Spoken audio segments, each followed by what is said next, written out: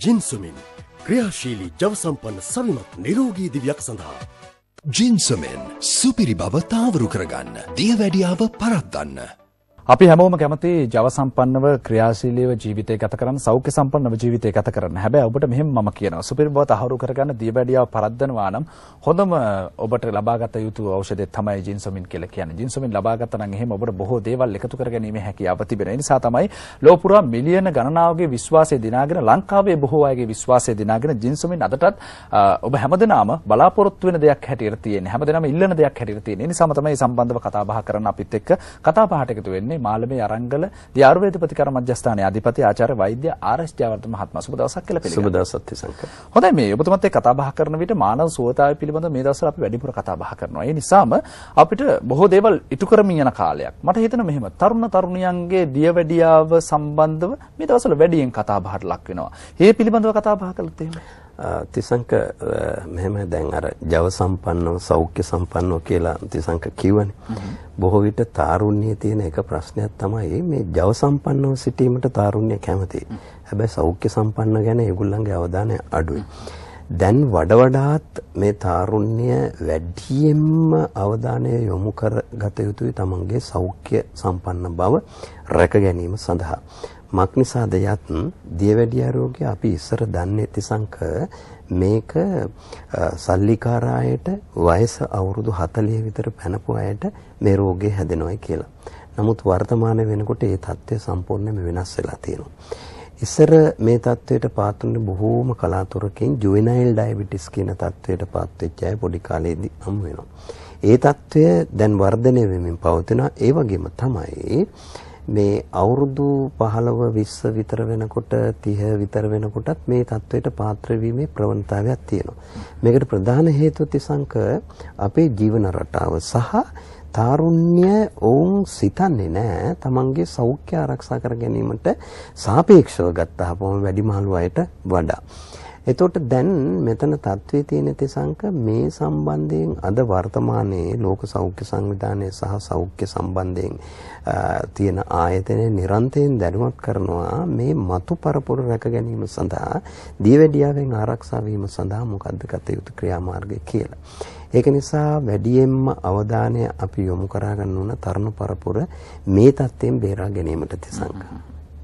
ඒ නිසා තමයි අපි කතා බහ කරන්නේ අද දවසේදී මේ කාරණා පිළිබඳව. එහෙමනම් තරුණ පරපුර දියවැඩියාවේ මුදවා ගන්නවා නම් ඒ සඳහා අපි නිතරම කියනවා ජින්සොමින් උපකාරී වෙනවා කියලා. හැබැයි මේක විද්‍යාත්මකව කොහොමද අපිට පහදලා දෙන්නේ මේක උපකාරී වෙනවා ඊට පෙර විද්‍යාත්මකව පැහැදිලි කිරීමට පෙර තිසංක මම කැමති මේ සම්බන්ධයෙන් තරුණ පරපුර විතරක් නෙවෙයි දෙමව්පියෝ දැඩි අවධානයක් යොමු කරන්න ඕන විශේෂයෙන් දියවැඩියාව තියෙන දෙමව්පියෝ දෙමාපියෝ තමන්ගේ දරුවන්ට මේ தත්ත්වයේ පාත්‍ර වීමේ ප්‍රවණතාවයක් තියෙනවා. මේ වගේ මුළු පවුලම අවධානය යොමු කරන්න කියලා කියනවා. දැඩි අවධානය. පවුලම අවධානය නෙවෙයි දැඩි අවධානයක් යොමු කරගන්න ඕනේ. විශේෂයෙන් දෙමාපියෝ හැම දෙයක් පිළිබඳව දරුවෝ ගැන කතා කරනවා බලනවා ඒ වගේම දියවැඩියාව වැළඳෙයිද කියලා ඒ ඒ ඒ தත්ත්වයක් විශේෂයෙන් අවධානයක් යොමු කරගන්න ඕනේ. දැන් කොහොමද ජින්සොමින් කියන මේ කැප්සූලය මගින් මේ දියවැඩියා රෝගයට සම්බන්ධ වෙන්නේ? මෙහි ප්‍රධානම සංඝටකය තමයි ජින්සෙන්. එතකොට මම කතා කරන්නේ ජින්සෙන් සම්බන්ධයෙන්. එතකොට මේ ජින්සෙන් වල ක්‍රියාකාරීත්වය පරිශනාත්මකව හොයාගෙන තියෙනවා කාරණා කීපයක්. තිසංක දැන් අපි මේකේ රුධිරයේ ග්ලූකෝස් ප්‍රමාණය වැඩි වීමේ ප්‍රශ්නේනේ තියෙන්නේ. එතකොට රුධිරයේ ග්ලූකෝස් ප්‍රමාණය වැඩි වෙන එක පාලනය කරා ගන්නට නම් අවශෝෂණය පාලනය කරගත්තාම හරිනේ. එතකොට දැන් අපි ගන්නා වූ ආහාරයේ ග්ලූකෝස් ප්‍රමාණය අඩු කරගත්තොත් ඒක එක කාර්යයක්.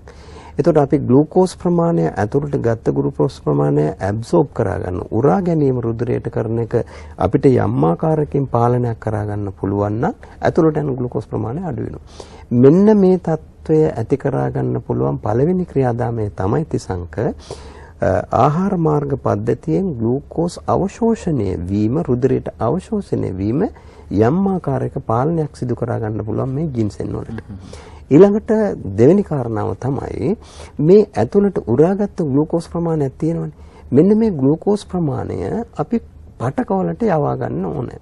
පටකවල පරිභෝජනය සඳහා මේක පාවිච්චි කරන්න ඕනේ. ඒතර යම් ආකාරයකින් පටක වැඩියෙන් මේක පරිභෝජනය කරොත් එතකොට රුධිරයේ ග්ලූකෝස් ප්‍රමාණය අඩු වෙනවා. ඒතර ජින්සෙන් වලට හැකියාවක් තියෙනවා පටකවලට යන රුධිරයේ සීනි ප්‍රමාණය ග්ලූකෝස් ප්‍රමාණය පටක පාවිච්චි කරන ප්‍රමාණය වැඩි කිරීමේ හැකියාවක් තියෙන බවට පරිශ්‍රණය මගින් ඔප් වෙලා තියෙනවා. දත්ත හමු වෙනවා. එතකොට ඒ දෙවෙනි කාරණාව. තුන්වෙනි කාරණාව තමයි අපේ මේ අක්මාව කියන එක. අක්මාවෙන් තිසංක ග්ලූකෝස් නිෂ්පාදනය වීම සිදු වෙනවා. එතකොට අපි ආහාරයෙන් ගන්නවා පටක පාවිච්චි කරන්න නැතුව තියෙන්න පුළුවන්. ඊට අමතරව අක්මාව මගෙන් රුධිරය නිෂ්පාදනය කරනවා රුධිරයට දෙනවා ග්ලූකෝස් නිෂ්පාදනය කරලා. අපිට යම් ආකාරයක මේ නිෂ්පාදනය යොමු කරන්න ග්ලූකෝස් ග්ලූකෝස් ප්‍රමාණය අඩු වෙනවා. එතකොට ජින්සෙන් වලට හැකියාවක් තියෙනවා මේ අක්මාව මගින් නිපදවන ග්ලූකෝස් ප්‍රමාණය අඩු කරන්න. එතකොට දැන් යාන්ත්‍රණ තුනයි. එකක් තමයි රුධිරයේ අවශෝෂණය කිරීම ඊට පස්සේ පටකෝලට වැඩිපුර පරිභෝජනය කිරීමට සැකසීම තුන අක්මාවේ නිෂ්පාදනය පාලනය කිරීම.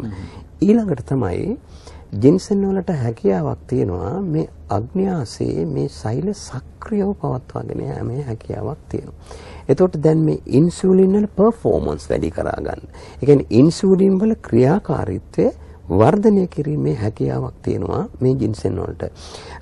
ඔය දැන් කොරියානු රජ කතා එහෙම ටෙලි ඩ්‍රාමා එහෙම බලනවා නම් ඒ වගේ හැම එකකම මේ ජින්සෙන් පිළිබඳව කතා කරනවා. ඊළඟට ජින්සෙන් වලට යම් හැකියාවක් තියෙනවා දියවැඩියාව පාලනය කිරීම අනිත් පැත්තෙන් ගත්තාම දියවැඩියාවට ඕනම ಔಷධයක් පාවිච්චි කරනවා නම් ඒ ඖෂධයක ක්‍රියාකාරීත්වය වැඩි කිරීමේ හැකියාවක් ජින්සෙන් තියෙන බවට ජින්සන් වලට තියෙනවා. මේ හේතුව නිසා යම්කිසි ඖෂධයක් පාවිච්චි කරනවා නම් ඒ ඖෂධයේ ක්‍රියාකාරීත්වය වර්ධනය කරනවා. ඒතකොට තිසංක බලන්න ජින්සන් වලට යාන්ත්‍රණ කීපයක්ම තියෙනවා මේ දීවැඩියාව පාලනය කිරීම සඳහා. දැන් සමහරක් අය අහනවා තිසංක අනිකුත් බෙහෙත් සමග මේක පාවිච්චි කළ යුත්තේ ඇයි කියන එක. ඒ ඇයි කියන එකට පිළිතුර තමයි මම අවසාන වශයෙන් කිව්වේ යම්කිසි ඖෂධයක ක්‍රියාකාරීත්වයේ එෆිකසි එක වැඩි කිරීමේ හැකියාවක් තියෙනවා ජින්සෙන් වලට. මේ හරහා තමයි දිවෙඩියාව පාලනය කරන්න පුළුවන් වෙන්නේ. ඔබට දුරකථන අංකය මතක් කරන්න මේ දුරකථන අංකයේ නැමතුමක් ලබා ගැනීම හැකියාව තියෙන නිෂ්පාදනය සම්බන්ධ දැනගන්නා වගේ නිෂ්පාදන ලබා ගන්න 075 77 11 975 075 99 74 ඒත් එක්කම කොහොමද අපි මේක පාවිච්චි කරන්න කියලා කෙටියෙන් කියමු. බොහෝ අය මේක පාවිච්චි කරනවා වැරදි විදිහට තිසංක මේක පාවිච්චි කරන්න ඕන උදේ කෑම වේලෙන් විනාඩි 15කට පස්සේ නොකඩවා මාස 3ක් එක දිගටම. හොඳයි එහෙනම් පාවිච්චි කරන්න පුළුවන් ඔබට. ඒ අතරතුරේදී ඔබට මේ පොතක් තියෙනවා ගල් ලබා ගැනීම හැකියාව තියෙන මේ පොත ලබා ගන්නවා නම් තිරයේ දිස්වන දුරකථන අංකයෙන් නෙමෙයි ලිපිණයට. ලිපිණයට ලියන්න නොමිලේ තමයි මේ පොත ඔබට ලබා දෙන්නේ. ඒ නිසාම දියවැඩියාව සම්බන්ධව බොහෝ කාරණා දැනගැනීමේ හැකියාව තියෙන දියවැඩියාව කියන්නේ මොකක්ද? දියවැඩියාව හැදෙන්නේ කොහොමද? දියවැඩියාව නිට්ටාවට සුව කර හැකි රෝගී තත්ත්වයක්ද ඖෂධ ලබා ගන්නේ කොහොමද? කැම් පාලනය කරන්නේ කොහොමද? මේවා ගොඩක් කාරණා මේ පොතේ අඩංගු වෙලා තියෙන නිසා ඔබට නොමිලේ මේ පොත ලබා ගැනීමේ හැකියාව තිබෙනවා. තිරයේ දිස්වන ලිපිණයට තමයි ඔබ ලියන්න ඕන. ඒ අතර දුරකථන අංකය මතක් කරන්න මේ දුරකථන අංකය නැමත තුමක් උන්නත ලබා ගැනීම හැකියාව තියෙනවා. 075යි 77 11 975 075 90 11 967 0143 කියන දුරකථන අංක ඔස්සේ. කතා බහ නිමා කරන්න සූදානම්. කතා බහට පැමිණීම සම්බන්ධව මාළඹේ අරංගල දී ආයුර්වේද කර්ම මධ්‍යස්ථානයේ අධිපති ආචාර්ය වෛද්‍ය ආර්.එස්. ජයවර්ධන මහත්මයාට බොහොමත් ස්තුතිවන්තයි බොහොම ස්තුතියි සංකල්ප. ඔබ සියලු දෙනාට ආරාධනා කරනවා දිගටම ටීවී දෙරණත් එක්ක රැඳෙන්න කියලා. සෝබර වාසනාවන්ත දවසක් වේවා කියලා හැම දිනාටම ප්‍රාර්ථනා කරනවා. ජින්සුමින් ක්‍රියාශීලී ජවසම්පන්න සවිමත් නිරෝගී දිවියක් සඳහා. ජින්සමෙන් සුපිරි බව තාවරු කරගන්න දියවැඩියාව පරද්දන්න.